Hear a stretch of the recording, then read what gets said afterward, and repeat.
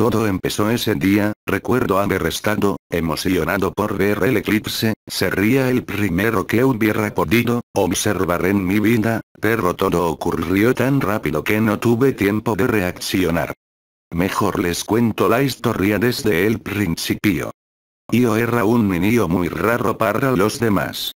No entendía el por qué, pero me daba igual, un día por la mañana justo antes de irme al colegio raramente encontré mi televisor encendido, no recordaba haberlo encendido antes de dormirme, pero no me preocupe demasiado por eso, después de todo a cualquier persona se le puede olvidar algo, en el televisor vi que en el día de hoy, por la noche iba a ocurrir, un eclipse, no le preste tanta atención a la noticia, pero me emocioné mucho. Este sería el primer eclipse, que yo iba a observar en mi vida, pasó el día, regresé a mi casa. Me preparé, para observar este fenómeno, y... Por la noche.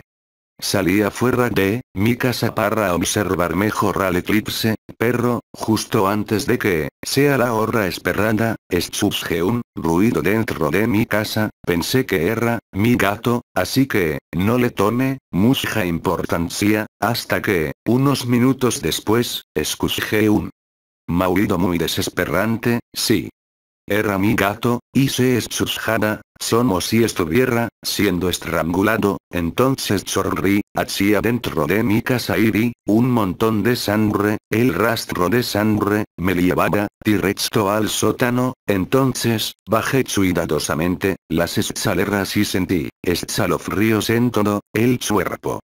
Encontré a, mi querido gato, muerto, pero no supe quién.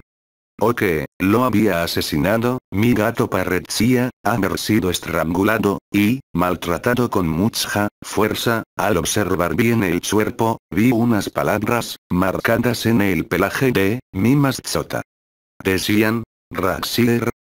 No sabía lo que significaba, perro, deduje que, se, hacía, Lamar, el asesino, de mi gato, cuando la policía llegó, al analizar la escena del crimen, no se encontraron pistas, de, quién, pudo haber realizado tal, masacre, Así pasaron los días y, no se encontraba, nada, después, ya no me, preocupé mucho por eso, y continué mi vida, normalmente.